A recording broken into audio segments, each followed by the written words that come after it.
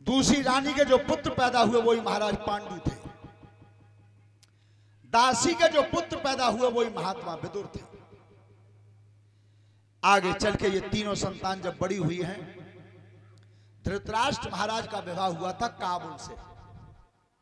अफ़गानिस्तान में पड़ता है।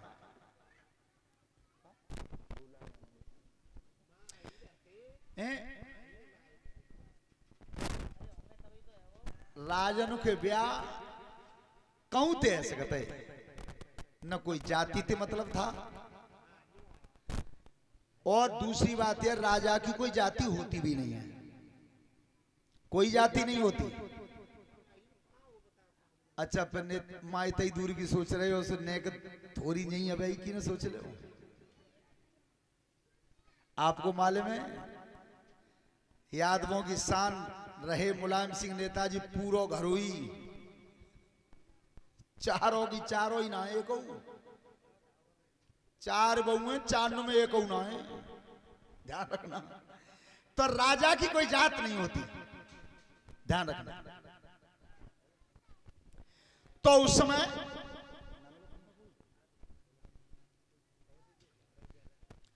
काबुल से विवाह हुआ था। अफ़गानिस्तान में पड़ता है। लेकिन आज अगर काऊ के लड़का के ब्याह सौ किलोमीटर तक आ जाए तो का कहते हैं, अरे भैया ना, हम पे तो एक किलो है, हम तो यहीं कहूँ कर लेंगे उरे पास थे इतना ही दूध थे हम आए। पर तुमने सोचा है कि मेरे भारत की ससुराल कहाँ तक थी? विदेशों में। और आज अगर भारत की कीमत गिरी है तो केवल शिक्षा की बदौलत गिरी है। पढ़ाई लिखाई की बदौलत गिरी है। भारत अगर कमज़ोर हुआ तो केवल शिक्षा से कमज़ोर हुआ है। और पढ़ा भी होगा तुमने।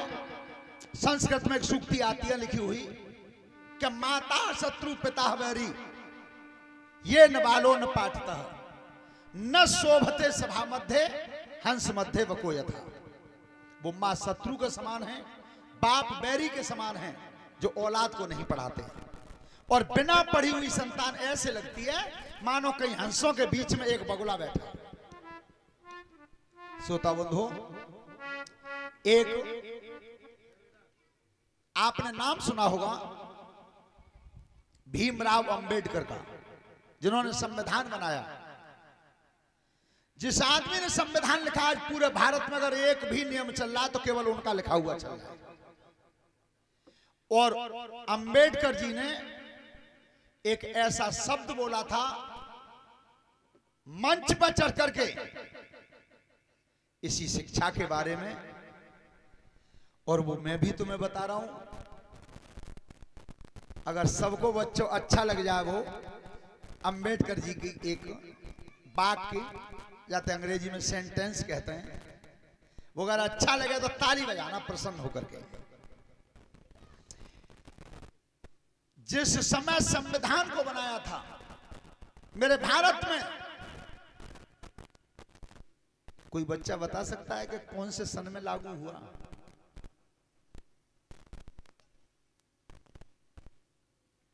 बताओ। पढ़े करो ने ठीक है? बहुत मेहनत का पैसा खर्च होता है माता पिता का।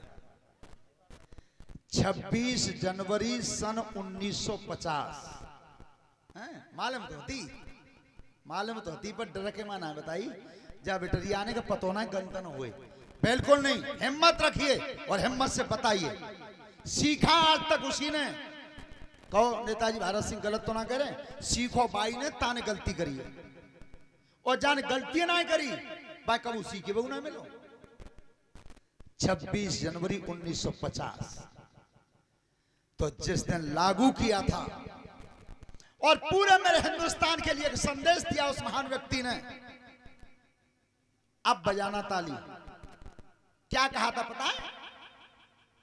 शिक्षा वो शेरनी का दूध है जो पिएगा, वो ही धारेगा। शिक्षा वो शेरनी का दूध तो विशेष करके बच्चों पर शिक्षा पर ध्यान रखिए, पढ़ाई लिखाई पर ध्यान रखिए। अफ़गानिस्तान से विवाह हुआ था। महाराज पांडु के दो विवाह हुए थे। आज मालूम है, एक बात सुन के बहुत हँसी आती है बच्चा पढ़ने जब जाते हैं, जा शब्द को सबसे ज़्यादा आज अहीर कहते हैं। बालक पढ़वे जा रहे हो तो बात क्या कहते हैं?